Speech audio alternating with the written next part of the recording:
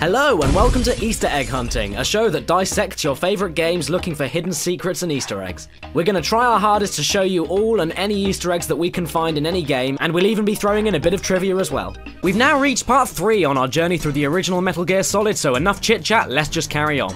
After you get bored with Meryl slapping you about, we can carry on with the story as we have to head to the commander's room, which just so happens to be our second stop to an Easter egg hunting paradise. After the short scene where Meryl gets possessed by Mantis, try viewing the game in first person mode. You'll find that the perspective switches to Meryl's vision instead of Snake's, which could be a foreshadowing to later events during the Mantis fight, where the first person mode is then replaced by Mantis's view. Then, once you meet Mantis, he'll demonstrate his true psychic powers to Snake by, again, breaking the fourth wall.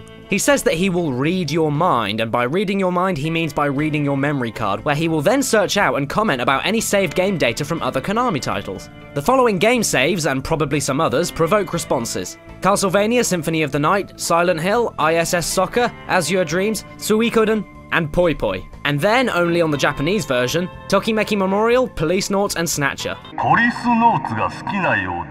in the Japanese version as well, if the player has save files from both Snatcher and Policenauts, it will trigger the following message. Psycho Mantis will say, So, you like Kojima's works? And then Kojima speaks in a voiceover saying, Thank you for your continuing support. In the Twin Snakes, Mantis will read off of these save files Eternal Darkness, Super Mario Sunshine, Super Smash Bros. Melee, and The Legend of Zelda The Wind Waker. Did you enjoy playing Eternal Darkness? You seem to like The Legend of Zelda, don't you? You've been playing Super Mario Sunshine, haven't you? So you've played Super Smash Bros. Melee before. If the player has none of these game save datas in their memory card in both versions, Mantis will then say, hmm, Your memory is completely clean. Flipping over to the Twin Snakes again, you may have noticed that the visual psych-outs used in this portion of the game are very reminiscent of the sanity effects used in Eternal Darkness. Furthermore, several voice actors and actresses played roles in both the Metal Gear Solid series and Eternal Darkness, including David Hayter, Kim Mai Guest, Jennifer Hale, Cam Clark, Paul Eiding, and Greg Eagles. Back on the PS1, during the battle with Mantis, if you just can't figure out how to avoid Mantis's mind control, give Colonel Campbell a quick call, and then keep on calling him until the fourth call, where he'll then give you a little hint to defeating Mantis. He's using his psychic ability to read your controller's moves. That's how he's evading your attack. If we then decide to die without changing controller ports, you'll then get a call from him that reveals the true secret to defeating Mantis. Plug your controller into controller port 2. After the battle with Mantis, he then states that he is unsure whether or not Snake's and Meryl's futures lie together, which is actually alluding to the game's two endings, one in which Meryl survives and the other in which she dies. Also, the script in the original Japanese release had Mantis mention that his helping Snake on his deathbed felt nostalgic. Though this was changed to, it feels kind of nice, in the English version. However, in the Twin Snakes, this was then changed back to the former. According to Hideo Kojima, the nostalgia that Mantis said he was feeling was due to him sensing his own mother's emotions during childbirth, where she had used the last of her dying strength to help her son survive, similar to Mantis's own actions towards helping Snake upon his death. And back on the Twin Snakes, if you check around the portraits in the commander's room, you may notice that the people portrayed are actually, in fact, Ryuhei Kitamura, Denis Dyack, and Hideo Kojima. Psycho Mantis's powers were actually inspired by another fictional character from the 1978 film The Fury.